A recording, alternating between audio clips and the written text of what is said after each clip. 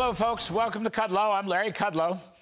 All right, when Donald Trump blurted out drill baby drill at the recent CNN town hall debate, the crowd went wild. Remember? Take a listen. If elected president again, what is the first thing you would do to help bring down the cost to make things more affordable? Drill, baby, drill.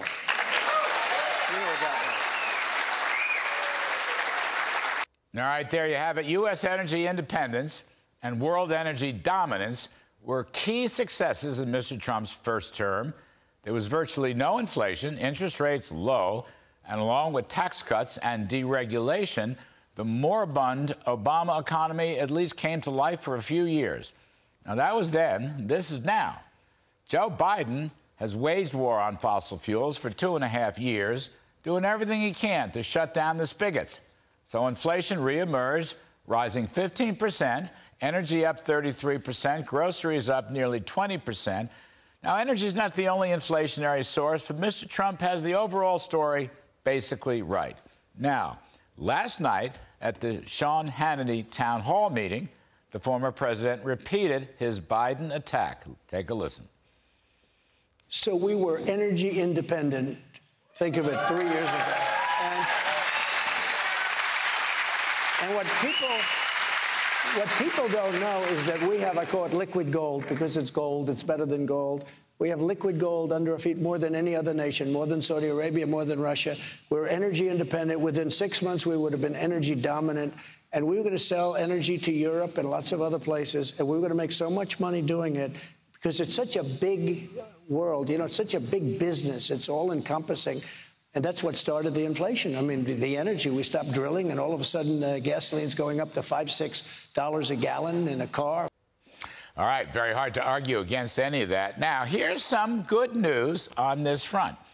Americans appear to be rebelling against Biden's radical left Green New Deal opinions. Those things have, by the way, inflicted great pain on the economy. They've jacked up inflation and interest rates and they've caused real take home pay for middle class, blue collar working folks to decline for over two years straight. A recent poll sponsored by the Committee to Unleash Prosperity shows that 79% agree we shouldn't make energy more expensive. Only 19% disagree. That same poll shows that 70% of, uh, 77% of respondents don't want to be forced into purchasing electric vehicles. Only 23% want an EV mandate. And finally, when asked how much would you personally be willing to pay each year to address global warming, the median response was $20. Yeah. Biden, of course, is spending trillions. Pollster Mike McKenna notes that all these responses are moving away from the Biden war against fossil fuels. But there's even some more good news. The scourge of ESG may be coming to an end.